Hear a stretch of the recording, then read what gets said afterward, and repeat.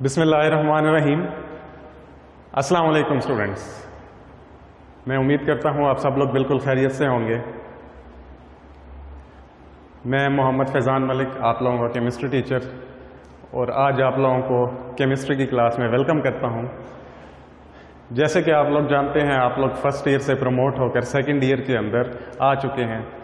तो ज़्यादा टाइम आप लोगों का वेस्ट नहीं होना चाहिए। आप लोगों की केमिस्ट्री जो है आप लोगों की स्टडीज़ को जारी रखने के लिए आपके कॉलेज ने ऑनलाइन क्लासेस का जो एक प्रोसेस है, वो स्टार्ट किया है, ठीक है? तो शुरू करते हैं हम सेकेंड ईयर की केमिस्ट्री के बारे में। सेकेंड ईयर की केमिस्ट्री फ़र्स्ट ईयर की केमिस्ट्री में आप केमिस्ट्री के बारे में एक ब्रीफ डिस्कशन कर चुके हैं, एक ब्रीफली आप लोग केमिस्ट्री को पढ़ चुके हैं। तो सेकेंड ईयर की केमिस्ट्री जो है, इसके अंदर मेजर आप लोगों के दो पोर्शन होंगे, दो। एक इनऑर्गेनिक केमिस्ट्री और दूसरा पोर्शन जो होगा वो ऑर्गेनिक केमिस्ट्री के हवाले से होगा। ये आप अपनी जो छोटी क्लासेस हैं नाइन्थ टेंथ के अंदर केमिस्ट्री की ब्रांचेस जो हैं, उनके अंदर ऑर्गेनिक केमिस्ट्री और इनऑर्गेनिक केमिस्ट्री की डेफिनेशंस पढ़ चुके होंगे। तो उन डेफिनेशंस को हमने डिटेल से पढ़ना है, एक पूरे पोर्शन के हिसाब से ऑर्गेनिक केमिस्ट्री क्या होती है, किस चीज़ के बारे में होती है क्या क्या चीज़ें इसके, इसमें हम पढ़ते हैं इनऑर्गेनिक केमिस्ट्री क्या होती है। तो मैं आप लोगों को एक छोटा सा इंट्रोडक्शन देता हूँ, बिल्कुल वही वाली डेफिनेशन आप लोगों को मैं बताता हूँ, जो आप लोग पहले पढ़े, पढ़ के आए हैं।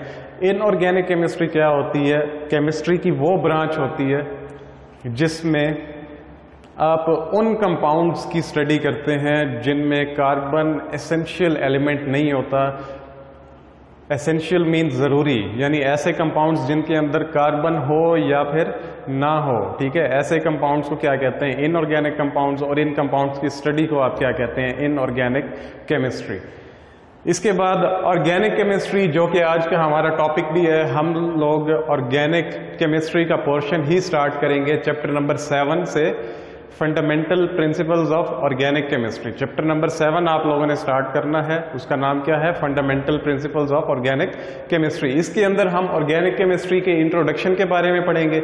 ऑर्गेनिक केमिस्ट्री क्या होती है? इसके अंदर हम क्या क्या चीज़ें पढ़ते हैं? ऑर्गेनिक कंपाउंड्स क्या होते हैं? किस तरह से उनकी डेफिनेशंस हैं? उनकी थोड़ी सी हिस्ट्री के बारे में पढ़ेंगे।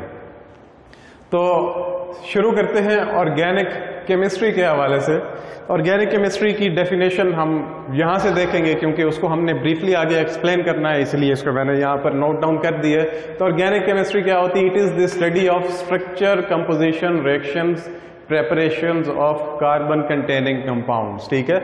यानी इनऑर्गेनिक के अंदर हमने क्या डेफिनेशन की थी? ऐसे कंपाउंड्स जिनके अंदर कार्बन हो भी सकती है या नहीं भी हो सकती उनको इनऑर्गेनिक कंपाउंड्स कहते हैं। लेकिन जहाँ पर ऑर्गेनिक केमिस्ट्री के अंदर वो वाले कंपाउंड्स जिनके अंदर कार्बन क्या होगा एज एन एसेंशियल एलिमेंट यानी कार्बन ज़रूरी होना चाहिए ऑर्गेनिक कंपाउंड्स के लिए, ठीक है? तो क्या होगा स्ट्रक्चर आप लोगों को पता है क्या होता है? बनावट के किस तरह का एक कंपाउंड है, उसका स्ट्रक्चर किस तरह से होता है? फ़र्ज़ कर ले, मैं आप लोगों को यहीं पे एक एग्जांपल दे, दिए चलता हूँ। सी एच फोर मिथेन इस कंपाउंड से आप पहले भी वाकिफ हैं। तो ये जस्ट हमारे पास इसका एक मालिक्यूलर फार्मूला लिखा हुआ है। तो स्ट्रक्चर के बारे में अगर हम करेंगे तो इसका स्ट्रक्चर कुछ इस तरह से हो जाएगा। यहाँ पर हाइड्रोजन यहाँ पर हाइड्रोजन और एक हाइड्रोजन जो है, यहाँ पर आ जाएगी इस तरह से। तो ये इसके स्ट्रक्चर को डिफाइन कर रहा है। तो हम इसके अंदर ऑर्गेनिक केमिस्ट्री के अंदर देखते हैं कि ऑर्गेनिक कंपाउंड जो हैं, ठीक है कार्बन कंटेनिंग कंपाउंड्स जिन्हें हम ऑर्गेनिक कंपाउंड्स भी कहते हैं, उनका स्ट्रक्चर किस तरह का है? कंपोजिशन किस तरह की है? जैसे अब ये सी एच फोर है कंपोजिशन बनावट होती है, यानी ये कार्बन एक कार्बन और चार हाइड्रोजन से मिलकर बना हुआ है, ठीक है? तो ये क्या हो गई इसकी बनावट कंपोजिशन उसके बाद रिएक्शंस रिएक्शंस क्या होते हैं? कि ये जो कंपाउंड है, एक ऑर्गेनिक कंपाउंड है, या कोई भी ऑर्गेनिक कंपाउंड हो सकता है, वो रिएक्टिव भी है या नहीं रिएक्शन करता भी है या नहीं नॉन रिएक्टिव तो नहीं है। तो उनके रिएक्शंस के बारे में हम पढ़ेंगे और प्रेपरेशन ठीक है? प्रेपरेशन क्या होती है आप लोगों को पता है? तैयारी होती है कि ये सी एच फोर जो है किस तरह से तैयार होता है कौन कौन से कंपाउंड्स हमें लेने पड़ते हैं तो हम ये सी एच फोर से बना सकते हैं। तो ऑर्गेनिक केमिस्ट्री क्या होगी? Study of structure composition reactions preparations of carbon containing compounds carbon containing compounds को हम क्या कहते हैं? ऑर्गेनिक कंपाउंड्स भी कहते हैं। अब थोड़ी सी इसकी हिस्ट्री की तरफ़ आ जाते हैं ऑर्गेनिक कंपाउंड्स की history earlier definition of organic compounds historic definition पुराने दौर में भाई ऑर्गेनिक कंपाउंड्स को किस तरह से डिफाइन किया जाता था? तो आप लोगों को मैं बताता चलूँ कि आज से तकरीबन 200 साल पहले, आज से तकरीबन 200 साल पहले जितने भी कंपाउंड्स थे, उनको दो तरह से डिफाइन किया जाता था। एक उनके ओरिजिन पे, ठीक है? ओरिजिन ओरिजिन क्या होता है कि वो कहाँ से ओरिजिनेट हुए और दूसरा उनकी प्रॉपर्टीज़ की बेस पे। प्रॉपर्टीज़ कौन सी खसूसियात रखते हैं? और दूसरे नंबर पे क्या बात है? ओरिजिन जो भी कंपाउंड है तो उसका ओरिजिन कहाँ से ओरिजिनेट हुआ है? उसी हिसाब से उसको एक्सप्लेन कर दिया, या फिर कौन सी प्रॉपर्टीज़ रखता है, कौन सी खसूसियात रखता है, उसी बिना पर उसको क्या कर देते थे? एक्सप्लेन कर देते थे। तो अर्लियर डेफिनेशन ऑर्गेनिक कंपाउंड्स को भी ज़ाहिर है, उसी हिसाब से ही हम क्या करेंगे एक्सप्लेन करेंगे। तो earlier definition of organic compounds क्या होगी? Compounds obtained from living organisms were called organic compounds ठीक है? अब क्या मतलब हुआ? ऐसे कंपाउंड्स जो हमें लिविंग ऑर्गेनिजम्स जानदार चीज़ों से, जानदार ऑर्गेनिज्म से हासिल होंगे, उनको क्या कहेंगे आप लोग? ऑर्गेनिक कंपाउंड्स अब ये लिविंग ऑर्गेनिजम्स का क्यों यहाँ पर हमने हवाला दिया है?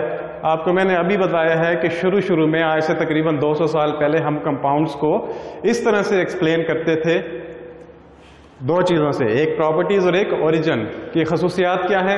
ओरिजिन क्या है? तो ऑर्गेनिक कंपाउंड्स का ओरिजिन क्या था? लिविंग ऑर्गेनिजम्स था नहीं, माना जाता था, ठीक है? ये बात आप लोग अभी से अपने जहन में रख लें।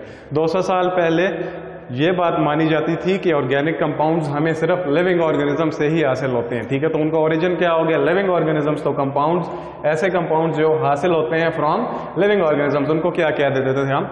ऑर्गेनिक कंपाउंड्स ठीक है? तो इस डेफिनेशन को देखते हुए हमारे पास एक नया कॉन्सेप्ट आ गया था। ठीक है? वो कॉन्सेप्ट क्या था? वाइटल फोर्स थ्योरी ठीक है? वो कॉन्सेप्ट जो है, हमारे पास क्या था? वाइटल फोर्स थ्योरी अब ये वाइटल फोर्स थ्योरी क्या है? इसको देखें जरा, क्या है ये? अब vital force present in living organisms ठीक है? क्या मतलब हुआ कि लिविंग ऑर्गेनिजम्स के एक, अंदर एक वाइटल फोर्स कुदरती तौर पर एक ताकतवर फोर्स पाई जाती है? ठीक है? इज़ इन्वॉल्व जो कि इन्वॉल्व होती है in the preparation of organic compounds किस चीज़ की प्रेपरेशन में? ऑर्गेनिक कंपाउंड्स की। क्या मतलब हुआ?